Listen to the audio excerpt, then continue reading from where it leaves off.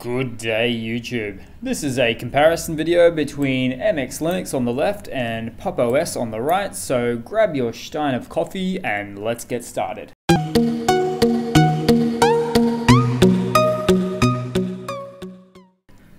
So, starting off here, we have Linux, Source or I should say MX Linux 19.3 on the left and Pop! OS 20.10 on the right here. So, if I was to have a little bit of a look at these, or maybe give them a little bit of an explanation, on the left hand side we have MX Linux, which is actually based on uh, Debian, so Debian stable. Whereas on the right hand side we've got Pop! OS uh, 20.10, which as the name may suggest to you, sound familiar, is actually based on Ubuntu there. Now, some of the probably the key differences here is in the, the much more bleeding edge kernel that Pop! OS will use in comparison to this stable Debian based kernel here on the left hand side for MX Linux. Uh, but moving on, the desktop environment also a little bit different. Now we are running the default desktop environment on MX Linux here, so it's actually running the XFCE desktop environment there, a little bit stylized to be very uh, MX Linux Linux-esque.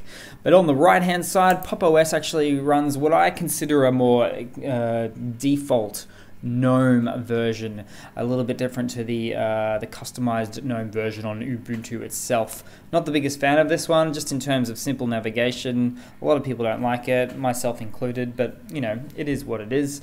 But uh, if we move across to, let's say, the uh, file managers, we'll see we've got a bit of a lightweight one here for MX Linux. Uh, uh, it's Thunar 1.8.x, which is nice to see, full and functional at least. And on the right hand side, as you'd expect, very similar, but stylized in these Pop! OS colors, a little bit customized in that way. It is actually still running the GNOME files, just like Ubuntu there as well.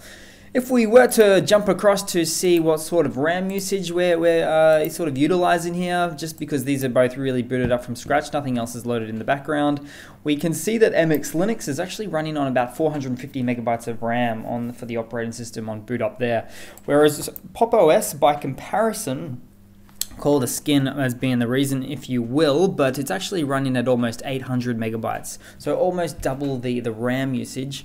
So as you could understand, if you want to, you know, use Linux on an older machine, you might probably stick with MX Linux in this case, yeah. But uh, that's pretty much it, guys. That's just a super simple, quick, fun video comparison between the two MX Linux on the left and Pop! OS on the right. Thanks for watching. Please leave a comment, subscribe, hit that like button, and I do hope to see you guys there in the next one. Cheers, guys. Ciao.